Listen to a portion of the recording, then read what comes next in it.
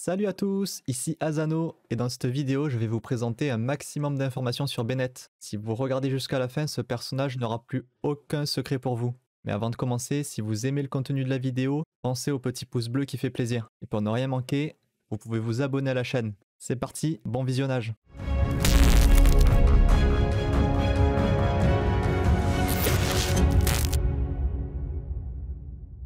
Que faire de son petit Bennett? Je vais commencer par vous présenter en détail ses compétences et ses constellations. On verra ensuite tous les rôles, les équipements qu'on peut lui donner. Et pour terminer, savoir où et comment l'utiliser, sans oublier de répondre aux questions fréquentes. Ces attaques sont classiques pour une épée à une main. Vous les utiliserez principalement pour combler le vide entre vos compétences. Ne vais pas m'y attarder dessus, on passe directement à la suite. Pour ce qui est de la compétence élémentaire, vous pouvez la lancer de trois façons différentes. L'appui simple qui fera un coup rapide, l'appui long charge 1 où Bennett lancera deux coups, et l'appui long charge 2 qui fera comme la charge 1 mais avec une explosion à la fin. Le temps de recharge varie en fonction de votre appui. On a dans l'ordre 5, 7,5 et 10 secondes. Bien souvent on préférera l'appui simple pour enchaîner plus rapidement sa compétence élémentaire et éviter d'être vulnérable en chargeant. Pour finir, son premier passif aide à recharger 20% plus vite sa compétence. On passe à ses animations, voici l'appui simple, l'appui charge 1 qui met deux coups, et l'appui charge 2 où Bennett se fait renverser à la fin. Il est possible de faire un dash pour réduire le temps où Bennett est à terre. Passons maintenant à son déchaînement élémentaire. Bennett va poser une zone par terre et infliger des dommages aux ennemis présents dedans. Tant que votre personnage est dans la zone, il sera soigné chaque seconde si ses PV sont inférieurs à 70% de sa vie max. A la place, si votre personnage a plus de 70%, il gagnera de l'attaque en fonction de l'attaque de base de Bennett. Et pour finir, les personnages présents dans la zone recevront régulièrement l'élément pyro sur eux. La zone va rester 12 secondes pour un temps de recharge de 15 secondes. On peut presque l'avoir tout le temps en jeu. Si votre Bennett a un équipement adapté, il faudra généralement 3 à 4 secondes max pour qu'un personnage quasiment sans vie passe au-dessus de 70%. Il faudra juste faire attention que votre personnage ne se fasse pas tuer au moment où vous l'amenez sur le terrain pour le soigner. Et bien souvent, son déchaînement élémentaire n'est pas là que pour soigner, on l'utilise aussi pour sa capacité à augmenter l'attaque de votre équipe. Pour finir, le second passif de Bennett permet de réduire le temps de recharge de sa compétence de moitié et d'annuler le renversement de sa charge 2. Si vous lancez votre compétence dans la zone, vous n'aurez plus que 2 secondes de recharge. Et comme je l'ai dit un peu avant, la charge 2 ne vous renversera plus à la fin. Le dernier point abordé, c'est l'élément pyro qu'il applique à votre personnage. Si ce dernier avait déjà un élément sur lui, autre que pyro, ceci va générer une réaction élémentaire sans effet, et il ne restera plus que l'élément pyro. Par contre, si un élément vient s'ajouter après, il y aura encore une réaction élémentaire et cette fois-ci elle prendra bien effet. Généralement c'est l'élément électro qui vous gênera le plus en vous renversant à chaque fois. C'est quelque chose à prendre en compte si vous êtes face à des ennemis de cet élément. Je vais préciser une dernière chose, le buff d'attaque que le déchaînement offre tient uniquement en compte l'attaque de base de Bennett. C'est le nombre en blanc dans les détails du perso. Ceci comprend seulement l'attaque du personnage sans rien, plus l'attaque de l'arme. On passe maintenant en constellation. La première permet d'annuler la restriction sur les PV. En gros, vous aurez tout le temps le buff d'attaque. C'est une constellation très importante si vous utilisez Bennett pour ça. De plus, la valeur va augmenter de 20%.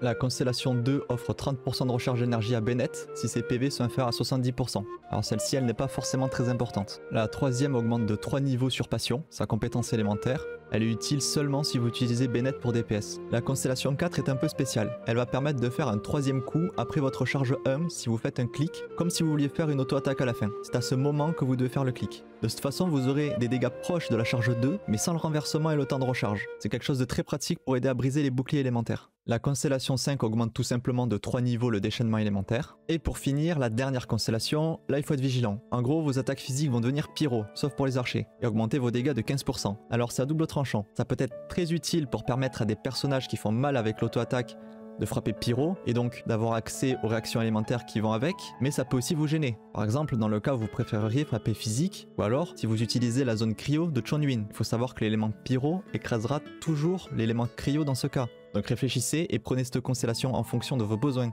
Voilà, les présentations sont faites. Je vais maintenant me concentrer sur le plus intéressant, c'est build. Mais avant de le faire, j'ai besoin de parler d'une chose, c'est la recharge d'énergie. Souvent on ne sait pas trop à quel moment on en a trop ou pas assez. Je vais donc vous expliquer rapidement les principes des particules. Pour ce qui est de la compétence élémentaire de Bennett, il faut savoir qu'elle génère deux particules lors d'un appui simple, mais il y a une faible probabilité qu'elle en génère une troisième. Par contre, pour ce qui est de la charge 1 et 2, elle génère tout le temps trois particules, mais le temps de recharge est plus long. Et deuxième chose à savoir, c'est que ramasser des particules avec le bon personnage donne 100% de l'énergie. Dans le premier cas, je vais prendre trois particules pyro avec Bennett, tandis que dans un deuxième temps, je vais en récupérer 4, mais cette fois-ci avec Shinyan. Et on se rend compte que Bennett a eu moins d'énergie cette fois-ci. Lorsque votre personnage est en retrait, il ne gagne que 60% de l'énergie. De plus, l'élément est important. Ramasser une particule du même élément donne 3 énergies, tandis que le mauvais élément, une seule. Et pour finir, les particules blanches, par exemple lorsqu'on affaiblit des ennemis ou avec les armes Favenius, donnent quant à elles 2 énergies. Du coup, tout va dépendre de votre équipe et votre gameplay. Si vous avez un autre personnage pyro avec Bennett qui fait des particules pyro, il vous faudra moins de recharge d'énergie. Si vous ramassez des particules directement avec Bennett, il vous faudra encore moins de recharge. Et s'il y a beaucoup d'ennemis et que vous les tuez vite,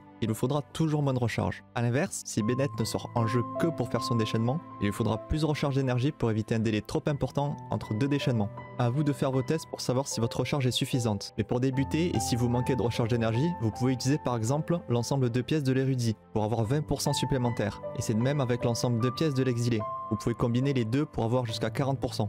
On va maintenant passer au build de heal. Vous n'aurez pas besoin de monter l'auto-attaque, la compétence élémentaire de Bennett. Faudra augmenter uniquement son déchaînement. Alors pas besoin d'aller forcément jusqu'au niveau 10, mais mettez la compétence au moins niveau 6. Afin de soigner plus, le set 4 pièces Amour est top. Vous avez ensuite deux possibilités, en mettant en statistique principale PV, PV et soin. Ou alors recharge, PV et soin si vous manquez de recharge d'énergie. Ne faites pas trois fois des PV. Vous soignerez autant que dans le deuxième cas, mais sans la recharge qui va avec. Et ça serait dommage. Et ensuite, en statistiques secondaires, vous viserez de la recharge d'énergie et des PV en pourcent et fixe. Pour ce qui est des armes, le top étant la lame de la voûte d'azur en 5 étoiles. Sinon, le croc suppurant qu'on a eu à la 1.2 fait l'affaire. Et ensuite, la Favenus si vous n'avez pas les précédentes. Et dans le pire des cas, l'épée rituelle ou même l'épée céleste qui est une arme 3 étoiles.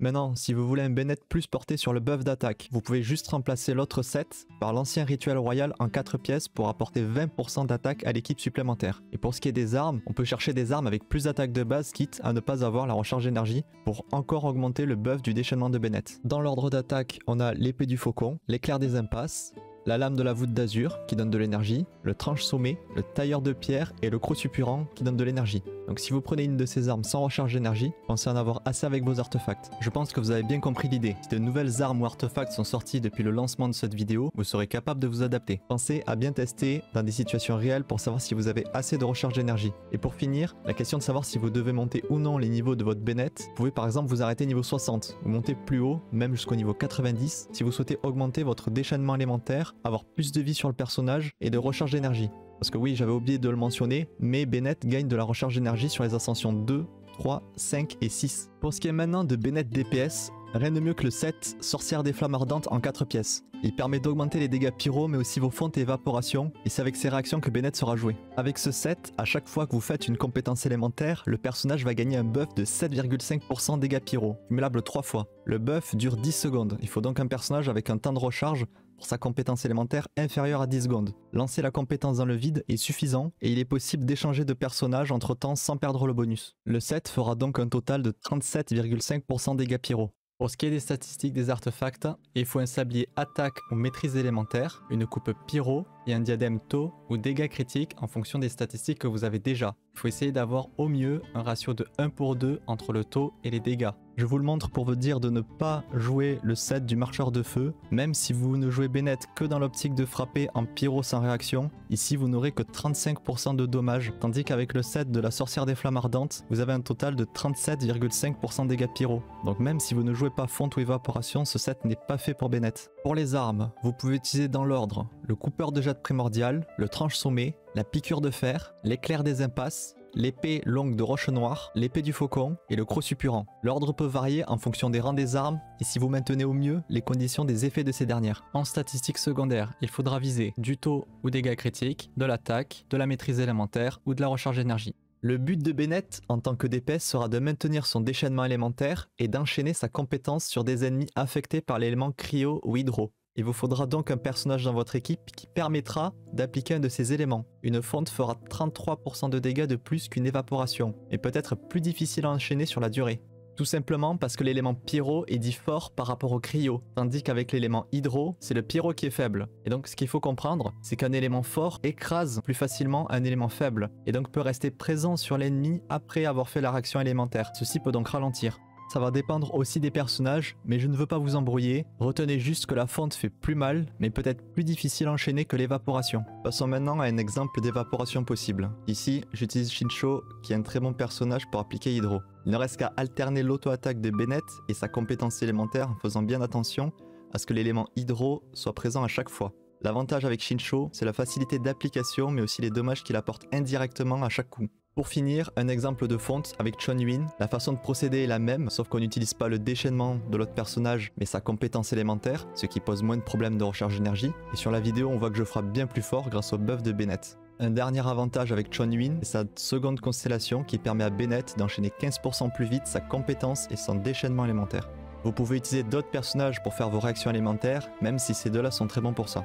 Pour finir, il faut monter la compétence et le déchaînement élémentaire. Pas besoin de l'auto-attaque. Je vais maintenant répondre à quelques questions qu'on pourrait se poser. Où mettre Bennett Comme le personnage est très polyvalent, il pourra aller quasiment partout. Il peut par exemple servir de heal dans votre équipe, booster l'attaque, aider à avoir la résonance pyro, aider à recharger l'énergie d'un autre personnage pyro, à DPS, il peut appliquer pyro pour faire des réactions élémentaires avec d'autres personnages, peut briser les boucliers élémentaires si vous n'avez pas encore de personnage pyro dans l'équipe. Et pour finir, avec sa sixième constellation, peut transformer les attaques physiques en pyro. Alors concrètement, vous pouvez le mettre vraiment partout, surtout s'il peut remplir plusieurs rôles en même temps. Faut-il des constellations pour qu'il soit efficace?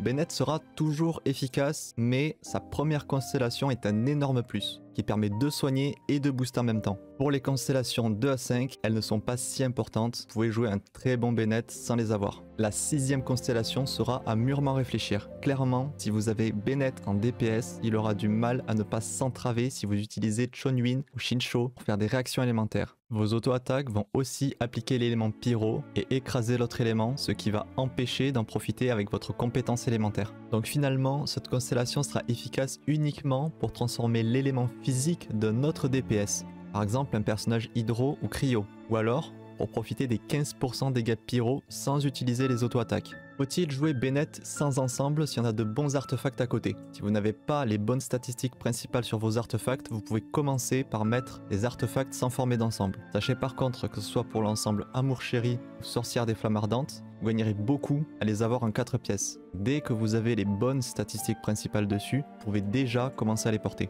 Voilà, c'est terminé. Je pense avoir fait le tour du sujet. J'espère avoir été le plus clair possible dans mes explications. Si jamais vous avez encore des questions, vous n'hésitez surtout pas à les poser dans les commentaires. J'y répondrai avec plaisir. Et pour ma part, je vous dis à bientôt et à la prochaine.